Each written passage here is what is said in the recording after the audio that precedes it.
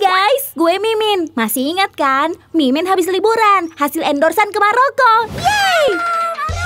Mimin udah kayak travel blogger loh. Main sama onta, jalan-jalan, bikin vlog, foto-foto. Seru banget! Wah, jeruk Maroko!